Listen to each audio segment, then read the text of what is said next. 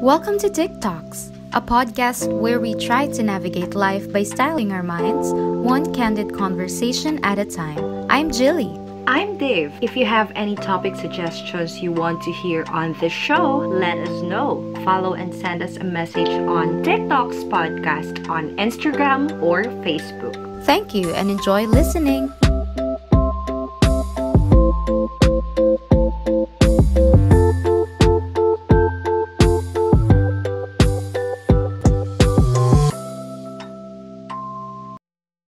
Hello, everyone. Welcome to the 18th episode of our podcast, TikToks. And Hello. For listening again to this new episode. So for today, we're going to talk about setting our personal boundaries. Diba? Napaka ganda nitong topic na to, marami makarelate. So at this point, we know na we are already familiar with the actual health benefits of knowing how to say no. So ngayon, we want to dive deep into setting the limits and rules for ourselves within relationships, within work, within oneself. And before kami mag-proceed in discussing this topic, um, I want to give uh, one definition of self-boundaries na nahanap din namin kanina. So, when we say self-boundaries, it's the limits that we set with other people, which indicate what we find acceptable and unacceptable in their behavior towards us. So, naka-incorporate lagi na when we say self-boundaries, it's the limits, limitation, not crossing the line. Hanggang dito ka lang. Mga ganon. Okay? Alright. So, before we continue, I want to ask you, um, Jilly, um, how do you define self-boundaries and why do you think it's important? Very heavy but helpful. So, um, as you as you mentioned, personal boundaries. Um, not everyone. I feel like not everyone is um, aware that is it it is important, and not everyone knows that they have to set it for their own good. Because as we all know, if we have personal boundaries, um, it can lead to a healthy relationship with the people around you. May iwasan yung mga toxic moments, toxic people, and may iwasan yung situation wherein you don't feel comfortable with what other people are saying or kung ano man yung actions na ginagawa nila. So it is very helpful to set a personal boundaries for yourself and at the same time it's very helpful if you communicate it to them. So, so that's what we are going to talk about today, right? We are going to discuss and share about, about um, um, these experiences are yung mga maliliit na nangyayari sa atin na minsan parang wala lang pero nagpa-pile up. Yun yung gusto nating maiwasan eh. Yes. Yes. Kasi may iba na hindi na lang natin pinansin eh. Like for example, someone comment, commented on what you're wearing and at Oo. first hindi ka bothered pero pagka Mm. madalas na nilang ginagawa parang iba na kasi nasanay ka na maybe nasanay ka na and you didn't know that you're being I don't know nababastos or exploited already Exactly. so that's what I we agree. wanted to to uh that's the thing that we don't want want to happen that's why we are talking about this right now so yun yes. it is very important. I think this is also a part of, I mean, under siya ng um, self-love eh. Na if you Mm. know your personal boundaries, then you know what's good for you, you know your worth, you know your value. So, Mm. ayun. Okay. I agree. Totoo lahat ng sinabi mo. And of course, if you have self-love, ang magiging end nun, if you have self-love, self-boundaries, you value yourself, your worth, is magiging healthy yung mental health mo, magiging healthy ka emotionally, psychologically. And yun yung isa sa mga bagay na ina-attain ng bawat isa sa atin or wini-wish natin na ma-attain natin. 'di ba Sa araw-araw natin na buhay. Okay. So right now, we're going to um parang i-categorize namin yung self-boundaries in terms of relationship, not only in romantic ses- sense, but also sa friends, sa family, sa acquaintance, in terms of work, and also sa sarili natin mismo.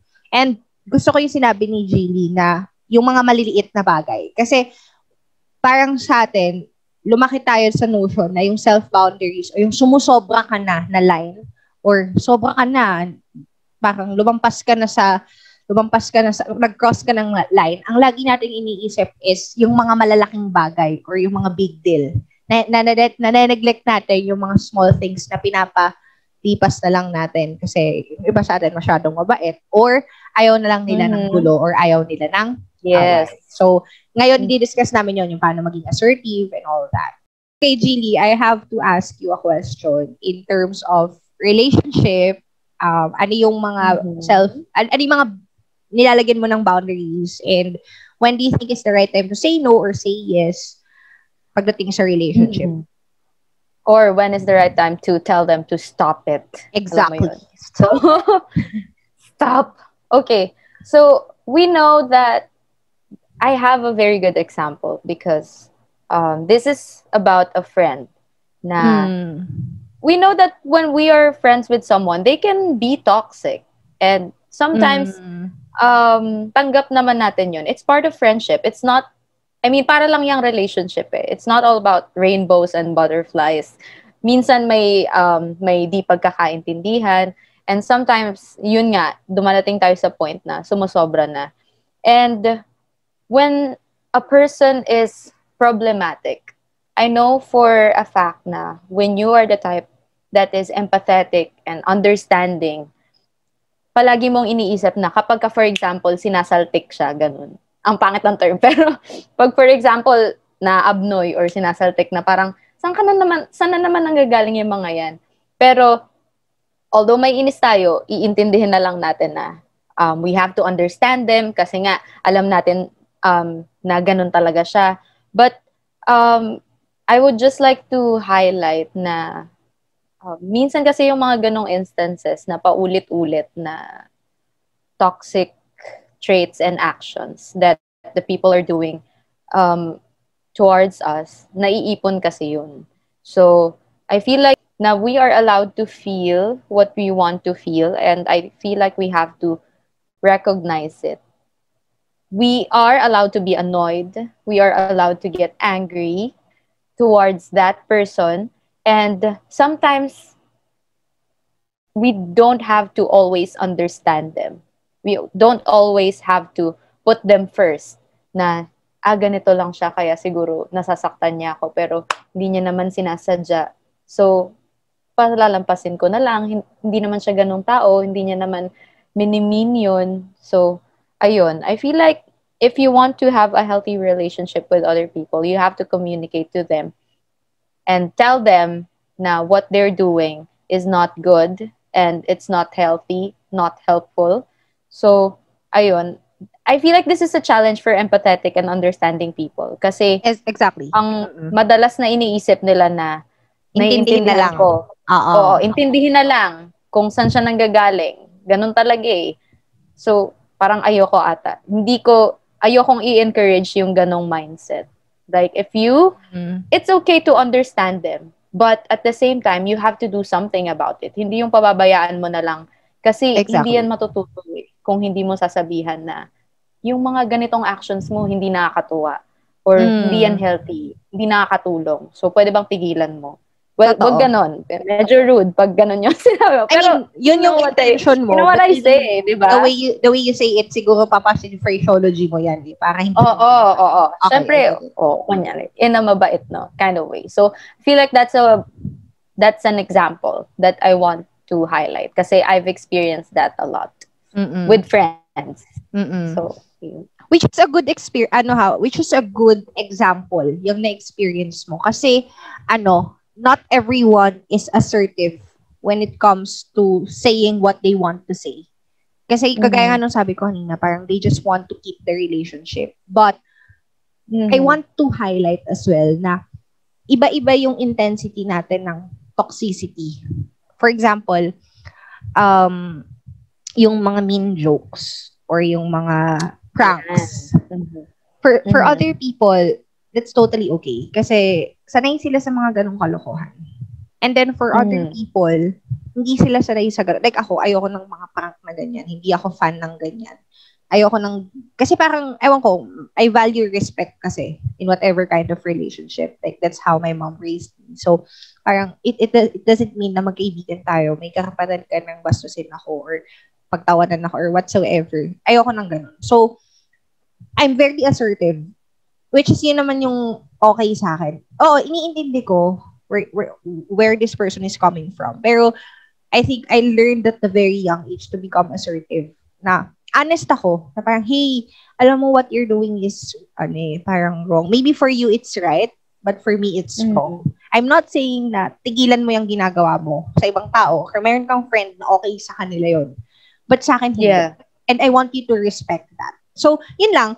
When we, when we became assertive naman, we don't really mean na tigilan ng tao yung isang behavior na yun. Kung doon sila, I mean, you cannot please everyone. I mean, the attitude of the people around you is something that you cannot control. Hindi mo naman sila Your pwedeng actions, baguhin. Yeah. Na, mm-hmm. ikaw wag kang wag kang mangganyan, wag kang masyadong maingay sa kanila. Mga ganon, hindi mo pwedeng sabihin 'yun. Sino ka ba para gawin 'yun sa kanila? But the only thing that you can do is yung i, i ano, ibabalandra mo sa kanila yung limitation. Hanggang dito ka lang pag sa akin. Mm-hmm. Ngayon, sa iba mong kaibigan, sa'yo. Mm-hmm. Gawin mo yan, I, I don't care, buhay mo yan. Pag sa akin, ayoko. Kasi ito yung ayo, ayoko na ginaganyan ako. And I think Oo. we don't need to feel mm-hmm. uh, guilty for doing that. Kasi kahit kailan hindi naging maling piliin mo yung sarili mo. But not in a conceited mm-hmm. way, ha? I mean, in terms of yung taking good care of your mental health and emotional state, yun yung importante. Kapag nasisira niya na yung core values mo or yung mga pananaw mo, hindi hindi na kayo, teka, hindi, hindi na, sumasobra ka na. I want oh. to highlight as well na nabanggit mo kasi kanina yung mga empathic person, mga empathic people um, karamihan sa empathic people, they have good heart. 'Di ba? They were raised to act this way. They were raised to be nice, to maging cultured, educated, mapagpasensya, etc. Now, if people are doing something na salungat sa kung ano yung nakasanayan natin, yes, natin talaga because we are empathic. I mean, salungat, or hin- alam natin na medyo off yun, oh. or it's kind of rude. Oh. Um, I think okay lang naman na pagbigyan sila first time if they really don't know what they're doing. Kasi yun nga yung nabasa ko nung last week na parang minsan naiinis tayo kasi we expect people to behave this kind of uh, way yeah. kagaya ng ginagawa natin na halimbawa, yung when it comes to time or pag-update na parang pag hindi ka nakakapunta, magsasabi ka, ganun ako pinalaki. Ngayon, nag-expect ka na lahat ng tao gagawin yon. Eh, may tao na, sabihin natin yung term bastos, hindi marunong magpaalam, or hindi pala makakapunta, hindi nagsasabi, may ganun. Nag-expect tayo na ganun sila. So, ang ending, na iinis tayo pag hindi nakukuha yung expectation natin. Na sometimes nakakalimutan mm. natin na maybe this person talaga uneducated siya or hindi niya alam na ganun pala talaga dapat yung rule. Hindi natin alam anong upbringing sa kanya. Now, if if the person did that for the first time, I think it's okay it's okay. Dito papasok when do we say yes or no eh, or until when tayo magsa-stop. It's okay na pagbigyan. Ah, okay, pagbigyan natin hindi niya alam. Pero kapag yon pumuulit-ulit-ulit na, na sinabi mo na sa kanya yung ayaw mo, sinabi mo na sa kanya yung dapat niyang gawin, inulit-ulit niya pa, doon na yung time na talagang kausapin mo na siya. Parang ano, gusto kong i-highlight din yung uh, pumapasok to sa ano eh, Because as a person, we have different values, 'di ba? Sa iba, okay na pinag-uusapan yung uh, ganitong bagay na maybe for other people, it's too personal. Masyado siyang too much information. And at this, eto na, ito yung gusto kong sabihin na for other people, kahit na hindi sila komportable sa topic na yon, but for the sake of pakikisama, quote and quote, okay, they will um, make others feel na komportable silang pinag-uusapan yun and magpa-participate pa sila sa conversation. Just so um, they wouldn't think na ang KJ nito na parang ang wala namang meaning yun eh. Hindi naman ibig sabihin ginoke namin yun na yung stand namin sa issue na yun, mm, ganyan. Mm-hmm. It's just for fun. Ganon, yung point nila. But I just wanted to say na I mean, why are you trying to please other people? Kasi mm. if hindi ka komportable na, for example, pinag-uusapan yung bagay na yun, let's say, um, pregnancy, abortion, or kung anumang other issues, or maybe personal stuff like yung um, for for girls, yung period, yung hormones, and all that thing. For other people, okay lang Mm. na pinag-uusapan yun and nagjo-joke about it. Yun yung medyo masakit sa iba eh, na nagjo-joke sila about it tapos hindi nila alam na nakaka-offend na sila ng tao. And for and for the person na natamaan sa joke na yun or sa kanya talaga targeted, he or she would rather keep their keep his or her mouth shut kasi ayaw niya na lumabas siya as um, KJ or parang Hmm, mau-off sa kanya yung mga friends niya.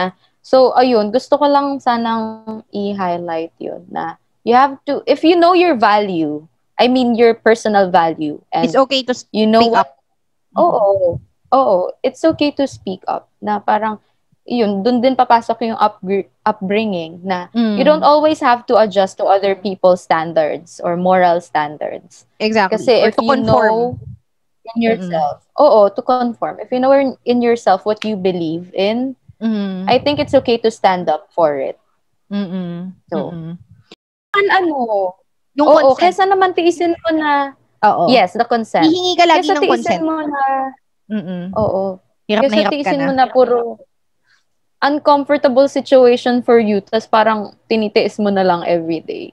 Oo. Tas hinahayaan mo. Nagpa-pile up Yeah. nga yun. Dun nga. Gaya ng sabi I mo. feel Tas, like papasok yung yung consent, consent. ang feeling kong solution dyan, you, you always have to ask for permission and consent to other people. Whether it's a joke or kahit sa mag-boyfriend. Yung, yeah. yung iba, Mhm. yung halimbawa, yung affection, pagiging affectionate sa public. There are people na ayaw ng affectionate sa public. Meron naman na clingy. So I think, as a person, if you respect the people around you, your partner, your friend, friend, or the people that you love, you ask for permission. Are you okay to do this? Are you okay ba na gawin ko to sa'yo? Are you okay na sabihin natin to? Kasi doon papasok yung yung pagiging yung empathy yung empathy mo na sensitive ka sa damdamin ng tao, 'di ba? Lag, lagi maging matutunan Ayan. tayong makiramdam. Sa, i- Mhm. Oo, 'di ba? Na Sa ibang tao ka kasi ba? negative yan eh. Oo. Siguro hindi pa nila na Oo. ano, nakikita na iba-iba talaga ang tao. Kasi yan ang isa sa mga mahirap na i-educate sa mga tao. Hindi naman sinasabi to dahil napakagaling namin. But this is what we have observed in kahit anong bansa to eh, hindi mawawala. Hindi lang sa Pilipinas. May Mhm. tao talaga na kung ano yung pananaw nila, yun dapat. Ano yung tama sa kanila, yun dapat. Ano yung ano yung tradition, ano yung culture, belief nila, ganun dapat. Pero kung lahat tayo matututong i-accept yung differences, yung Mhm. uniqueness ng bawat individual na may 7 bilyong tao sa mundo at may 7 bilyong kakaibang characteristics na gaya ng fingerprints hindi nagdodoble kahit kambal. I think maayos ang mundo eh. Ayos yung relationships ng tao. eh. Ano ba? For other people kasi, kaya takot din silang mag-speak up kasi ayaw nilang nasasabihan na bukod sa KJ, masyadong sensitive. Oo. Alam mo yun. Pero Sasabihin alam ng mo, mga toxic yung mga ganyan. Naghugot. Oh, sa actually, totoo naman. Toxic sila. Tsaka, Parang, ginagaslight ka nila. Yung victim Oo, that's, blaming, mm, di ba? Na parang, mm. yung sensitivity, Sensitive. iba-iba yan ng Mm. intensity eh. So, may tao na for for that person, ayaw niya talaga ng ganun sa'yo. Matatag ka sa mga ganong joke. So, Mm-mm. maging yun, maging sensitive lang talaga tayo. I think yun yung, yun, yung punot dulo ng solusyon sa ganitong Oo. problema. Yung, ano, maging sensitive talaga tayo. Diba? I feel like as long as hindi naman naapektuhan nung pagka-sensitive nung tao, yung personal work niya, or I Exactly. mean, yung work Oo. niya, yung profession, professional work, or yung outcome ng mga ginagawa niya na required of him or her, I feel like you have to respect that. Na exactly. Oo. hindi naman affected yung output ko sa Oo. work. Kung sensitive ako, magaling pa rin naman akong magsulat or magaling pa rin naman akong mag-present sa mga ginagawa ko. Nakakapag-perform pa rin naman ako ng maayos. So, I'm not doing anything uh, Diba? bad to other people. Wala naman akong ginagawa sa So, inyo. Bakit I feel like, problema nyo? Okay. Dami namin Okay, hugot. Actually, yeah. kasi, totoo to, kasi, ano eh, ah, yung mga nasabi mong yan, kasi I'm an empath din, nakaka-relate ako. Pero siguro ang maganda lang sa ugali ko, assertive ako. Kaya ang dami din nagsasabi sa akin, masyado kang sensitive, masyado kang, ano. Pero ngayon, Oo. na, na-validate ako, na-affirm ako. And yun din yung Mhm. gusto naming maramdaman yun, na okay lang yun. Okay, kung sabihin Mm. nila kayong sensitive, bahala, bahala kayo sa buhay. Bahala sila sa buhay nila. Basta isipin mo lagi yung sarili. Piliin mo yung sarili mo. Okay? Alright, Oo. we've talked about relationships and ang dami naming hugot about that. Now, we, we want to talk about the workplace or the load of work na binibigay sa atin kung meron tayong mga boss or whatsoever or I don't know kung ano man yung work nyo, freelancer kayo or whatever. How do you uh, set your boundaries, Julie, in terms of work or in terms of tasks that you need to finish? Sobrang scary naman na to. Hello sa mga boss kong nakikinig. Nabili ko na din na sila. Kung makinig man sila in the future. Hello. So, ito, in terms of work, I feel like this is a very important aspect of it that we have to discuss. Ako, personally, um, setting up my own limits or boundaries in terms of work. Pag weekend, kapag wala namang masyadong urgent, I, I turn off my notifications sa phone. So, siguro if kailangan-kailangan mo ko, you can call me. Pero you can't expect me to be always online, especially on Viber or to always reply to you on email kapag ka weekends. Unless I know that there is an ongoing urgent project na kailangan mag-work for the weekend and Mm. nasabihan ako and I am aware. Pero if wala naman, I guess that will help. This is for everyone also. You turning off your notifications during weekends or pag break nyo, pag off nyo, it will be very helpful. So, yun. I agree. Lang. And also, I feel like, oo, meron Don't- ka. sorry. Don't pa make isa. yourself available all the time. Tama. Kasi pagka din. ganon, pagka nasanay sila na, ay kahit weekend, nagre-reply to. Kahit na, Oo. um, kahit Sunday, pag tina- chinachat ko, nagre-reply siya, ang bilis, kaya good yun. So parang if you make ka na yourself, nila eh. Yes, if you make yourself available all the time, even during weekends, masasamantala ka, without you even knowing it, magpa-pile up yan hanggang sa dulo mababurn out ka. So, Exactly. magbaba- ma- Fed up ka na sa work. Oo, babalik yan sa'yo. So, I guess as early as now, if hindi ka pa fed up, or kung fed up ka na, you have to set your limits, turn off your notifications, don't make yourself available for other people all the time. Ikaw ba? I agree. And also, when it comes to work, or not only in work, like for example, you have an organization, or meron kang ibang passion projects, I think, yung tao kasi, bukod sa you're always available, pag nakita nila na magaling ka, or when, when they saw a potential in you, aasahan ka. So, ang Mhm. nakita kong solusyon na ginagawa ko dyan dati is I try to teach these people ng skills na meron ako. Na parang, okay, so for example, the person wanted to, ano ba, shoot a video or. Marami, eto, ng mascom days, or minsan outside school, may mga, uy, mag-shoot naman tayo, pwede bang ikaw mag-photoshoot sa amin, mga ganyan. Maybe, moving forward, in a very subtle way, I try to share or impart my knowledge. Hindi dahil sa ayokong Mhm. kayong tulungan, but I don't want you guys to be dependent on me all the time. So, so that Yeah. pag, if I'm not available, you can take over. And this is what I do din naman sa podcast natin, di ba? Parang, ate, um, there's something that I have discovered, blah, blah, blah. I'm not saying this para ipasa yung trabaho dun sa tao, but I'm saying this para in case in the future na I'm not available, you can take over. Di ba? Or pwede mo siyang magamit. And it's for your own personal growth and development din naman. Kasi, di ba yung may kasabihan nga na parang yung tao, wag mo siyang bibigyan ng fish, turuan mo siyang mag, mag mangisda para may kainin siya. So, same with work.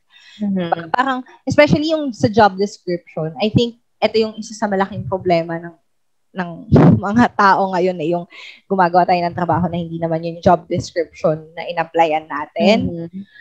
Mag-train kayo ng mga tao, yung mga employee dyan. yung mga employer. Hoy!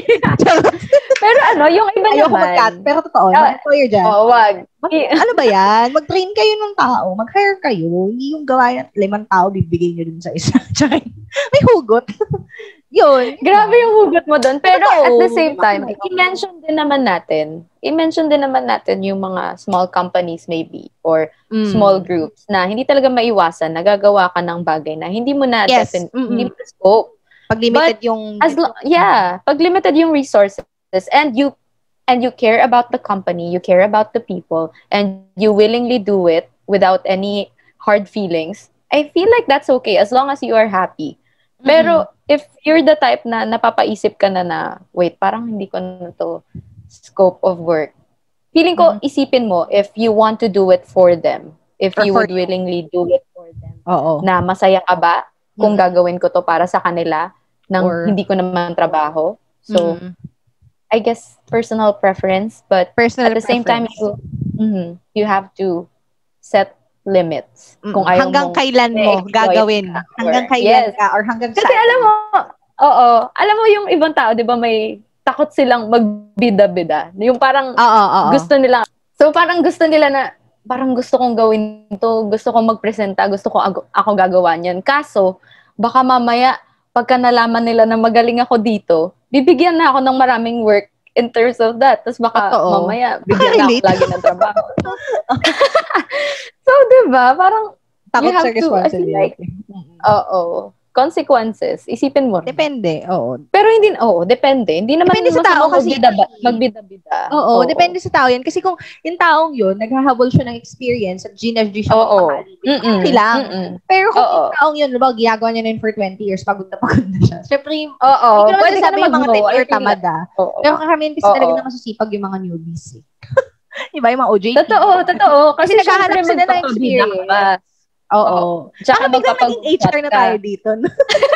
Okay lang yan. At least Naging HR na tayo. Tapos yung mga employees naman, yun nga, sabi ni Gilly, hindi may iwasan na yung nag blur yung line when it comes to job roles and the description. I think, Yes. ano na rin, preference na rin ni employer yon kung paano mo ko-compensate not only in financial but how you treat your employees. Like, for example, baka naman pwede mag-offset siya or baka naman pag may mahalagang lakad siya, payagan mo siyang mag-out ng maaga. Yung mga ganong Oo. simpleng bagay. Kasi napakinabangan mo siya. Napakinabangan mo siya doon sa mga matitinding projects, di ba, kailangan mo siya. Baka naman kapag medyo maluwag yung Mm. schedule, baka naman pwede mo rin siya pagpahingahin, di ba? So, nasa right Yes. balance lang yun. Yes, HR na po tayo, guys. HR. I should Human hire you. Okay.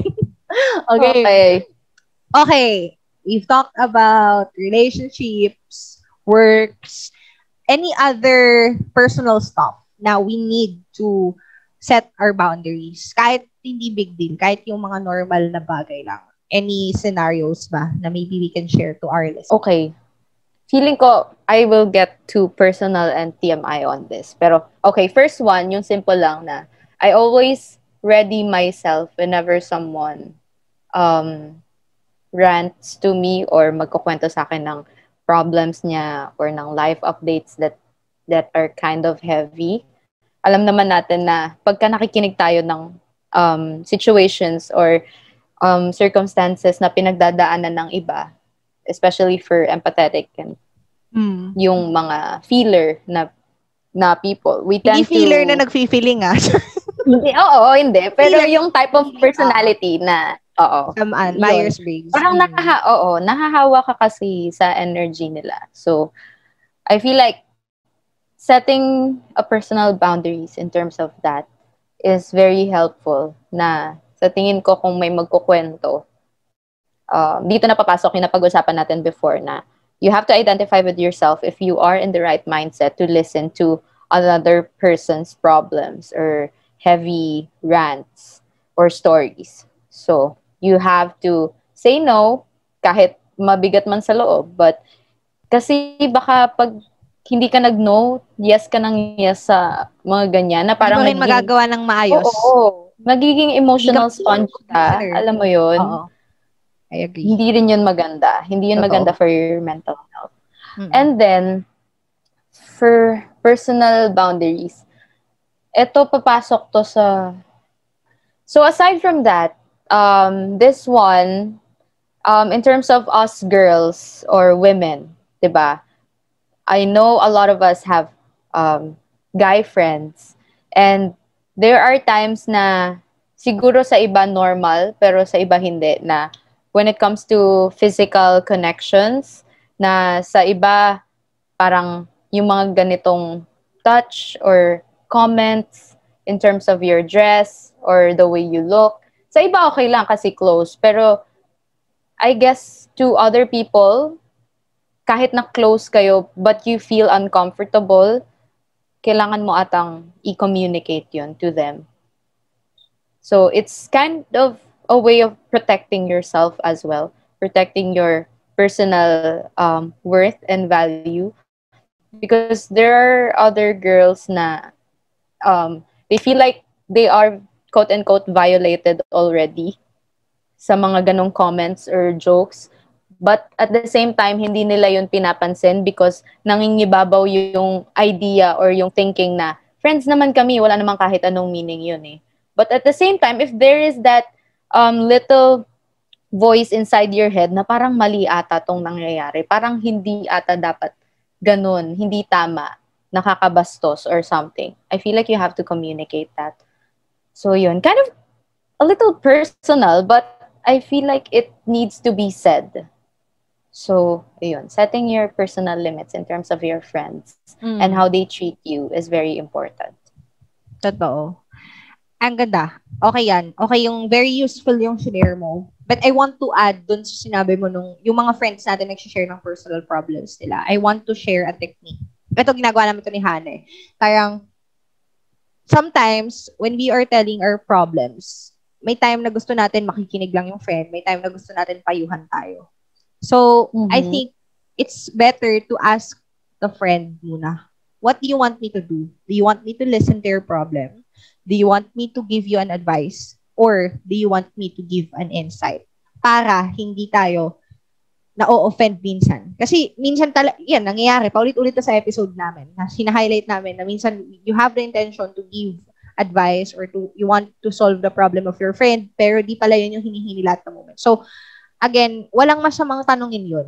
Anong gusto mong, gu- di ba? Para siyang counseling session ngayon. Actually, natutunan din Mhm. namin yan sa org, na parang, um, magtanong ka, anong gusto ng kaibigan mo? Ano bang help ang gusto mo? Gusto mo lang ba ng, yan, may makikinig? Gusto mo lang ba ng safe space? Kasi kung yun yung gusto mo, pwede ko naman din gawin yun. Tapos, maybe later on, if I have an insight, maybe sasabihin ko yun sa'yo kapag hindi ka na, pag alam kong ma- ma-absorb mo na siya at hindi ngayon na-overwhelmed ka ng emotions. Yun.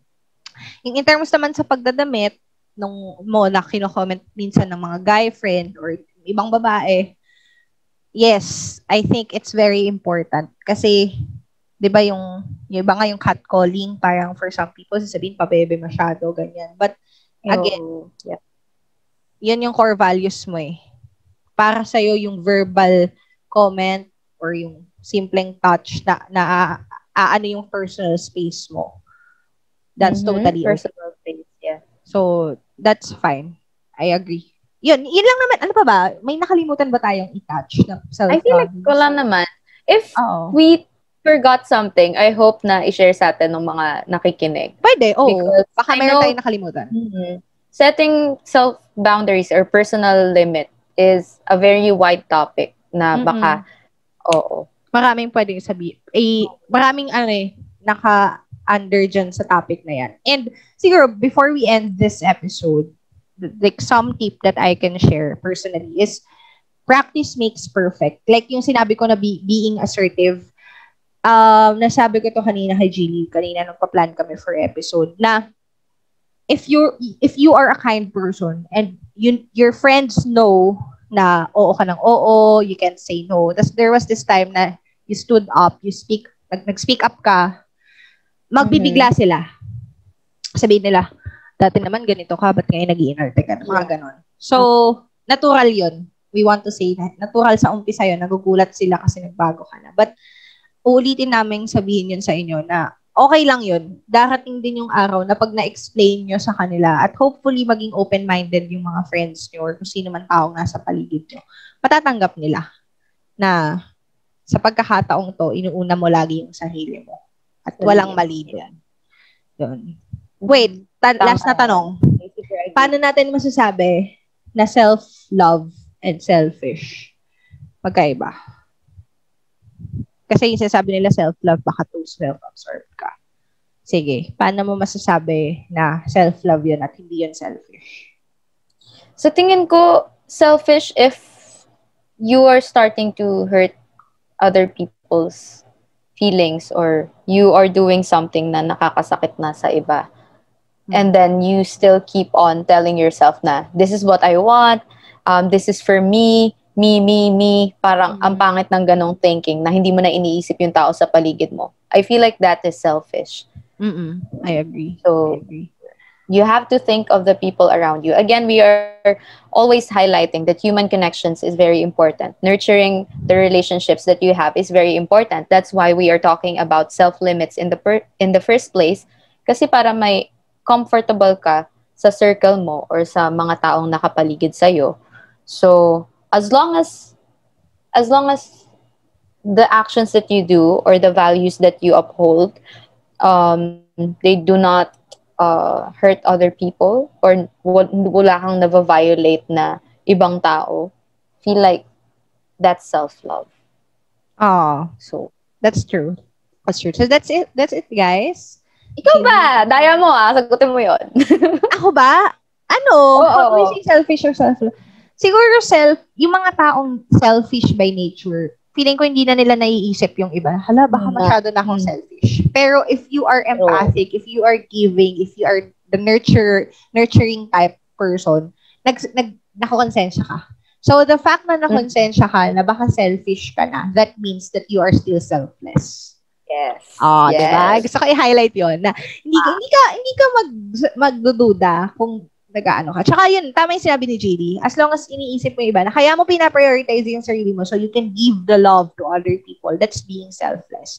Like, okay, Mhm. in terms of work, kailangan ko magpahinga, kailangan kong i-turn off yung notifications ko para pagpasok ko sa office sa Monday, I have the energy to help you guys.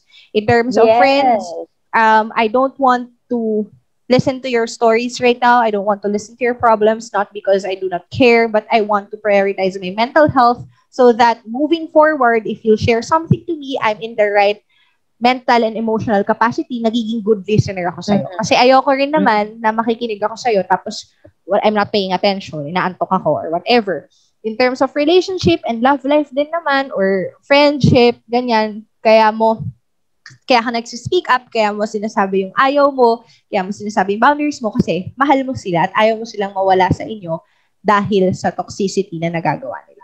So I think Yeah. that sums it all and I hope that you guys are able to learn something or maybe if you already know this, na-remind namin sa inyo what needs to be done. And again, our goal for this episode is to normalize and to validate those self-doubts whenever that we want to choose ourselves over other people. Yun lang. Yun lang. Bye-bye.